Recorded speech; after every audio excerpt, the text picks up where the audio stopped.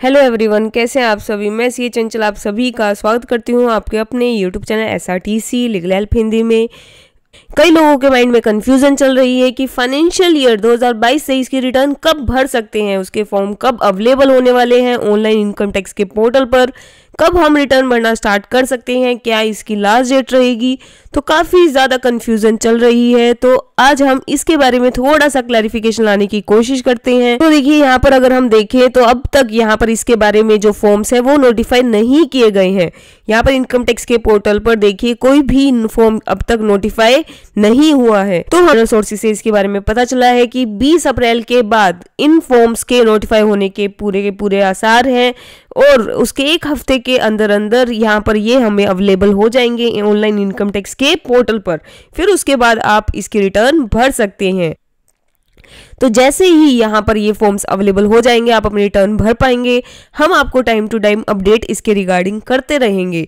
तो अगर आपने हमारे चैनल को सब्सक्राइब नहीं किया है तो ज़रूर कीजिएगा लेटेस्ट अपडेट्स के लिए। बट एक बात आपको ज़रूर ध्यान रखनी है, जब आप फाइनेंशियल ईयर बाईस तेईस की रिटर्न भरने जाएँगे तो उसमें आपको ध्यान रखना है कि इस बार जो आप रिटर्न भरेंगे उसकी ई वेरिफिकेशन के लिए आपके पास सिर्फ़ तीस दिन होंगे।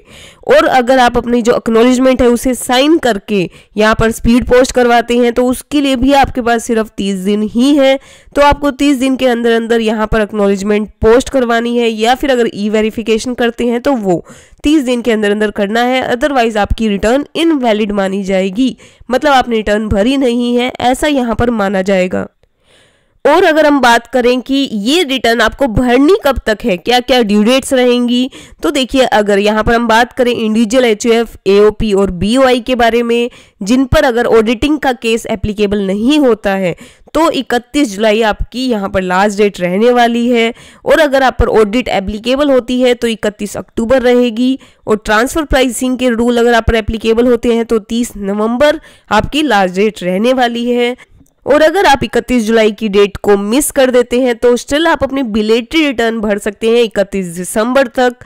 और उसके बाद भी अगर हम अपडेटेड रिटर्न की बात करें तो देखिए यहाँ पर फाइनेंशियल ईयर 2021 की अपडेटेड रिटर्न की लास्ट डेट है इकतीस मार्च 2024 फाइनेंशियल ईयर 21-22 की लास्ट डेट है 31 मार्च 2025 और फाइनेंशियल ईयर जो अभी 22-23 है, इसकी आपकी लास्ट डेट रहने वाली है 31 तीन 2026 कुछ ड्यू डेट्स है जिनको आपको ज़रूर ध्यान रखना है, आपको 31 जुलाई से पहले पहले अपनी रिटर्न भरनी है और ये फॉर्म्स जैसे ही अवेलेबल होंगे, हम आपको नोटिफाई कर देंगे। और हम हमारी अगली वीडियो में मिलेंगे, तब तक के लिए बाय बाय